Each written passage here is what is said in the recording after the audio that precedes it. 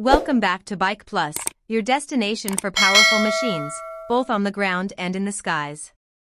Today, we're diving into India's ambitious leap in air combat technology, the 2025 update on the HAL Tejas Mk2 fighter jet. A symbol of self-reliance, speed, and advanced firepower, the Tejas Mk2 is set to redefine India's aerial defense capabilities. Background The legacy of Tejas. India's Light Combat Aircraft LCA, program has come a long way.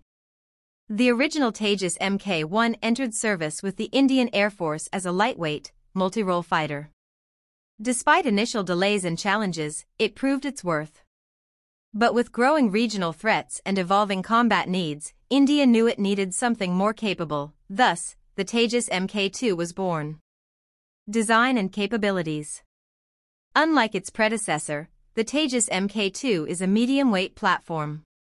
It features a larger airframe, more fuel capacity, and greater payload, up to 6.5 tons across 13 hardpoints.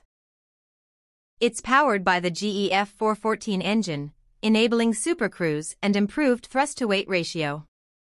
The Tejas Mk2 also incorporates advanced avionics, including an AESA radar, infrared search and track systems, and modern electronic warfare suites. 2025 Progress Update As of mid-2025, the Tejas Mk2 has completed key phases of prototype development. The first flight is expected by the end of the year, with serial production planned for 2027.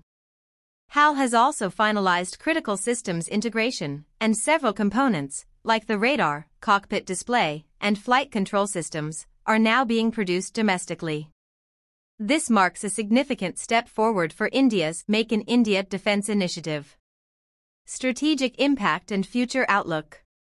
With plans to induct over 100 Tejas Mk2 units, this aircraft is expected to replace aging MiG-29s and Mirage 2000s. It's not just about modernizing the fleet, it's about asserting technological independence and enhancing combat readiness. As regional tensions rise, the Tejas Mk2 gives India a sharp edge in both deterrence and tactical response.